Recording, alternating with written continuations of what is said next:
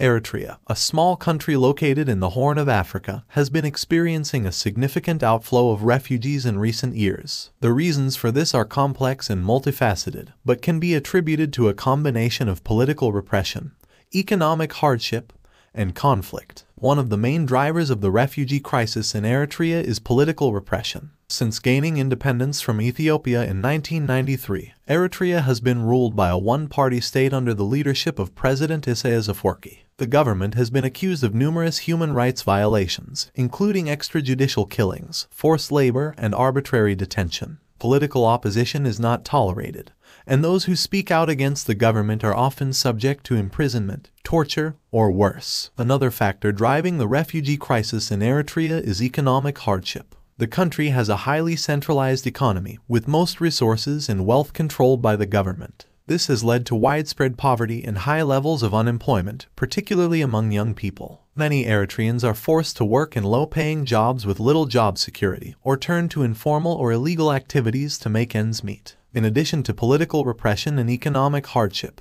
conflict has also contributed to the refugee crisis in Eritrea. The country has been involved in a long-standing conflict with Ethiopia over border disputes, which has led to periods of violence and displacement. Eritrea has also been involved in conflicts in neighboring countries, including Yemen and Somalia. The combination of political repression, economic hardship, and conflict has led to a significant outflow of refugees from Eritrea. According to the United Nations, there were over 500,000 Eritrean refugees worldwide as of 2021 with the majority living in neighboring countries such as Sudan, Ethiopia, and Djibouti. Many Eritrean refugees face significant challenges in their host countries, including lack of access to basic services and the threat of deportation. In conclusion, the refugee crisis in Eritrea is driven by a complex set of factors, including political repression, economic hardship, and conflict. The outflow of refugees has had significant humanitarian consequences, with many Eritreans facing challenges and hardship in their host countries. Addressing the root causes of the refugee crisis in Eritrea will require a comprehensive approach that addresses political,